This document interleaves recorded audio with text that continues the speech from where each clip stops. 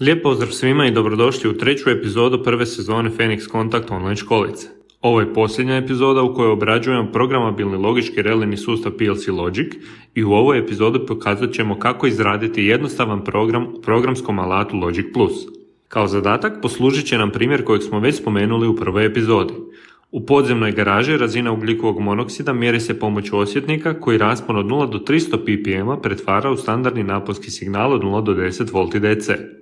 Potrebno je ostvariti upravljanje ventilatorima u podzemnoj garaži korištenjem PLC Logica na sljedeći način. Pri koncentraciji ugljikovog monoksida veće od 30 ppm pokreće se prvi ventilator, pri koncentraciji ugljikovog monoksida veće od 60 ppm dodatno se pokreće i drugi ventilator uz uključivanje žutog svjetla za upozorenje, a pri koncentraciji ugljikovog monoksida veće od 90 ppm dodatno se pokreće i treći ventilator uz uključivanje crvenog svjetla i zvučne signalizacije koje ukazuju na opasnost. Sva tri ventilatora također je moguće pokrenuti pomoću tipkala za pokretanje, odnosno zaustaviti pomoću tipkala za zaustavljanje. Dakle, potrebna su dva digitalna ulaza za tipkala za pokretanje i zaustavljanje ventilatora, kao i šest digitalnih izlaza za tri ventilatora, dvije svjetlosne i jednu zvučnu signalizaciju. Konačno, mjerenje razine ugljikovog monoksida obavlja se putem osjetnika koji se spaja na analogni ulaz za raspon od 0 do 10 V DC. Kada to zbrojimo, potrebno je 9 ulazno-izlaznih točaka. S logičkim modulom moguće je pokriti dva digitalna ulaza i jedan analogni ulaz, te će nam ostati pet rezervnih ulaza. Za šest digitalnih izlaza možemo koristiti elektromehaničke reline izlazne module. Također, ostaće nam dva prazna mjesta za koje moramo iskoristiti rezervne module.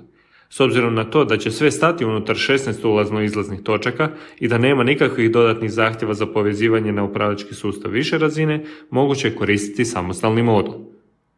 Bitno je napomenuti da je navedena konfiguracija za vičani spoj. Također je moguće odabrati proizvode i za utični, odnosno pušin spoj. Da bismo mogli izraditi program, najprije je potrebno preuzeti i instalirati programski alat Logic Plus. U vašoj internetskoj tražilici pretražite pojam Phoenix Contact International. Otvorite internetsku stranicu te u tražilicu unesite narudžbeni broj samostalnog modula za utični spoj 2907443. Odaberite karticu Downloads, a zatim pod kategoriji odaberite Software. Preuzmite i instalirajte inačicu 1.25. Nakon instalacije pokrenite programski alat Logic Plus. Ukoliko ste već napravili neki projekt, možete ga jednostavno i brzo otvoriti putem izbornika Recent Projects. Također, pod Try one of our sample projects možete isprobati neki od primjera gotovih projekata.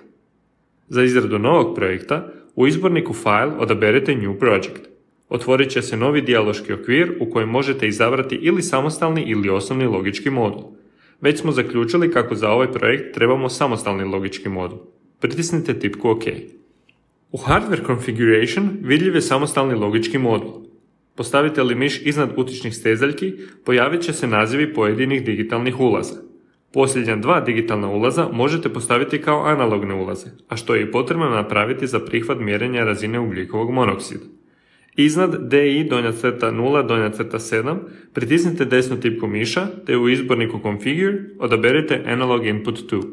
Sada ćemo dodati potrebne module za DIN nosač. Kliknite na strelicu kako bi vam se pojavio dodatni izbornik. Odaberite PLC Relay Output. Kako je potrebno šest takvih modula, označite prvi modul, kopirajte ga i zalijepite pet puta. Na posljednja dva mjesta dodajte rezervne module. U izborniku View odaberite Data Items. Flags predstavljaju binarne vrijednosti, registers predstavljaju cijelobrojne vrijednosti, a time registers predstavljaju vremenske vrijednosti koje možete koristiti unutar programa. Analog inputs, digital inputs i digital outputs predstavljaju stvarne fizičke ulaze i izlaze. Proširite grupu Analog inputs. Pod label unesite naziv CO level. Ukoliko želite, pod comment možete unijeti i komentar, na primjer razina ugljikovog monoksida. Proširite grupu Digital inputs. Pod label i comment unesite redom nazive i komentare. Start button, tipkalo za pokretanje ventilatora i stop button, tipkalo za zaustavljanje ventilatora. Proširite grupu Digital Outputs. Pod label i comment unesite redom nazive i komentare. Run fan 1, pokretanje odnosno zaustavljanje prvog ventilatora. Run fan 2, pokretanje odnosno zaustavljanje drugog ventilatora. Run fan 3, pokretanje odnosno zaustavljanje trećeg ventilatora yellow light, žuta svjetlosna signalizacija, red light, crvena svjetlosna signalizacija i konačno horn, zvučna signalizacija. Sada, kad smo pripremili samu konfiguraciju i nazive varijabli, možemo krenuti na izradu programa. Odaberite karticu Program 1. Postavite miš iznad analognog ulaza za mjerenje razine ugljikovog monoksida. Pritisnite lijevu tipku miša i povucite odabrani analogni ulaz na radni list. Analogne vrijednosti u Logic Plus programskom alatu uvijek su prikazane od 0 do 1000, što znači da nam vrijednost 0 predstavlja 0 V DC, odnosno 0 ppm, a vrijednost 1000 predstavlja 10 V DC, odnosno 300 ppm. Jednostavnim računanjem možemo zaključiti kako će nam granice od 30 ppm, 60 ppm i 90 ppm biti skalirane na 100, 200 i 300. Za usporedbu s tim razinama koristit ćemo funkciju GE, odnosno veći ili jednako. Funkcije možemo jednostavno naći putem ugrađenog filtra u prozoru Toolbox. Na prvi ulaz funkcije GE dovest ćemo naš analogni ulaz. Na drugi ulaz funkcije GE unijet ćemo redom konstante 100, 200 i 300. Ako nam je zadovoljen prvi uvjet, želimo pokrenuti prvi ventilator. Postavite miš iznad digitalnog izlaza za pokretanje, odnosno za ustavljanje prvog ventilatora, pritisnite lijevu tipku miša i povucite odabrani digitalni izlaz na radni list. Slično napravite i za digitalne izlaze za pokretanje preostala dva ventilatora. Osim prema razini ugljikovog monoksida, ventilatori se mogu pokretati i zaustaviti i pritiskom na tipkala za pokretanje i zaustavljanje. Ovdje ćemo koristiti funkcijske blokove reset.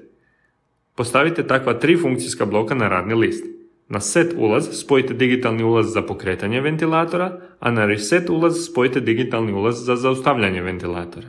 Izlaze iz funkcije za usporedbu GE i funkcijskih blokova reset spojit ćemo na funkcije OR kako bismo zadovoljili zahtjev da se ventilatori pokreću ili prema razini ugljikovog monoksida ili prema tipkalima.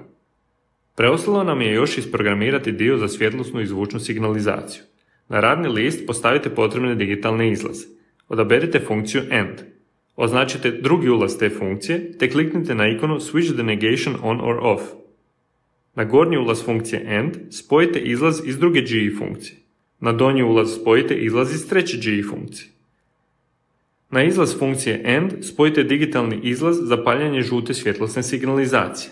Na ovaj način žuta svjetlosna signalizacija pali se samo u slučaju kada je razina ugljikovog monoksida između 60 i 90 ppm. Na izlaz iz treće GE funkcije spojite digitalne izlaze za paljanje crvene svjetlosne signalizacije i zvučne signalizacije. I to je to. Naš program je gotov. Kako biste ispitali program, možete iskoristiti ugrađenu simulaciju. U izborniku online odaberite Run on Simulation. Ukoliko postoje neke greške, Logic Plus će to prikazati u prozoru s porukama, a inače će se pokrenuti simulacija. Možete vidjeti kako su trenutno zaustavljena sva tri ventilatora, te nema upaljenih svjetlosnih signalizacija, kao ni zvučne signalizacije. Dva puta kliknite na analogni ulaz. Unesite vrijednost 150. Možete vidjeti kako je pokrenut prvi ventilator i na samoj konfiguraciji. Promijenite vrijednost analognog ulaza na 250.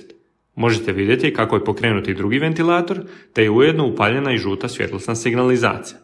Konačno, promijenite vrijednost analognog ulaza na 350.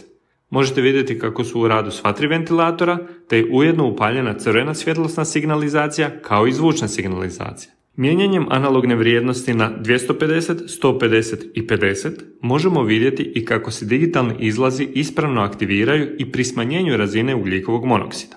Dva puta kliknite na digitalni ulaz za pokretanje ventilatora. Odaberite tipku True. Ponovno dva puta kliknite na digitalni ulaz za pokretanje ventilatora i odaberite tipku False. Na ovaj način simulirali smo pritisak tipkala. Možete vidjeti kako su se pokrenula sva tri ventilatora. Međutim, kako je razina ugljikovog monoksida ispod 30 ppm, svjetlosna i zvučna signalizacija nisu aktivne. Postavite vrijednost analognog ulaza na 250. Aktivira se žuta svjetlosna signalizacija. Dva puta kliknite na digitalni ulaz za zaustavljanje ventilatora. Odaberite tipku True. Ponovno dva puta kliknite na digitalni ulaz za zaustavljanje ventilatora i odaberite tipku False. Možete vidjeti kako su u radu ostala prva dva ventilatora kao i žuta svjetlosna signalizacija čime smo pokazali da se zaustavio treći ventilator, ali da i dalje trebamo uzeti u obzir razinu ugljikovog monoksida. Ovime smo uspješno završili ispitivanje našeg programa. Hvala vam na pažnji. Nadam se da ste uživali u ovoj epizodi, a za sva dodatna pitanja slobodno nas kontaktirajte.